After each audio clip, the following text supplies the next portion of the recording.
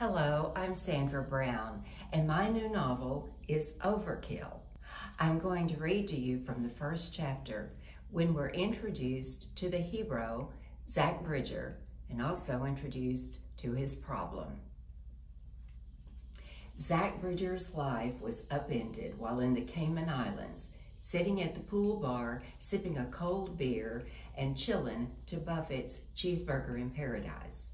It was only 8.30 in the morning, but his date of the week had wanted to claim an ideal spot for sunbathing the day away, so she dragged him out of bed early.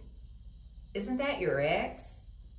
Zach, who'd been enjoying the array of lubricated female flesh around the swimming pool, turned toward the bartender, who hitched his goatee up toward the TV where a photo of Rebecca dominated the upper right-hand corner of the screen behind the anchor woman's shoulder. An indifferent grunt was Zach's response to both the bartender's question and the picture. He couldn't attach the word wife to the woman beguiling the camera with her slow eyes. It escaped him how he could have pledged his everlasting love, honor, and fidelity to her. Neither of them had kept their vows. He had, however, endowed Rebecca with a hell of a lot of his worldly goods. He said, Best years of my life have been the five since our divorce. Hear ya, the bartender gave him a kindred grin, then glanced over his shoulder at the TV, which now featured another picture of Rebecca. Recently, she's been hanging with a hockey player, one of those without any vowels in his name. Pity the poor bastard, Zach said. The bartender chuckled. I think they've split. I don't keep up. Occasionally, by accident, he'd catch a mention of her on one of those hyperactive celeb tracking shows. She was usually featured as a gorgeous accessory draped over the arm of a guy who was trending on social media. The bartender wiped up a spill. You must have whetted her appetite for professional athletes. Zach saluted the bartender with his fresh beer.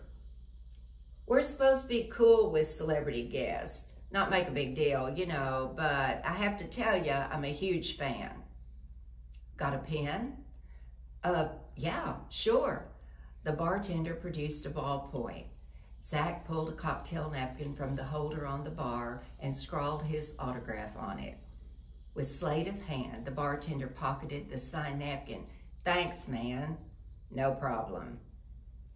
Rebecca's name still appeared in the bulletin scrolling across the bottom of the screen.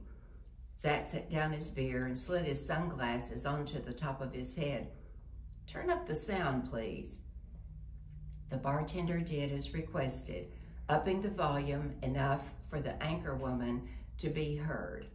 She was saying, authorities have told us that the 911 call came in at 8.08 this morning but the caller has yet to be identified. First responders arrived at the Clark Mansion within 13 minutes of the 911 and found Rebecca Pratt in an upstairs guest bedroom. We don't have details yet, but her condition has been described as unresponsive. Unresponsive didn't sound good at all. Zach wandered back toward the pool trying to remember where he had deposited his date of the week, trying to remember her name. He finally spotted her. As he wended his way around other sunbathers toward them, his cell phone rang. Recognizing an Atlanta area code, he figured it was a news outlet who'd bribed his number out of somebody. Likely they would want a soundbite from him regarding Rebecca in what was certain to be today's lead story. In his mind, he formed something appropriate to say, something to which no one could take exception, something conveying concern but disconnection. He thumbed on his phone. This Zach, within 30 seconds, he wished he'd never answered that call.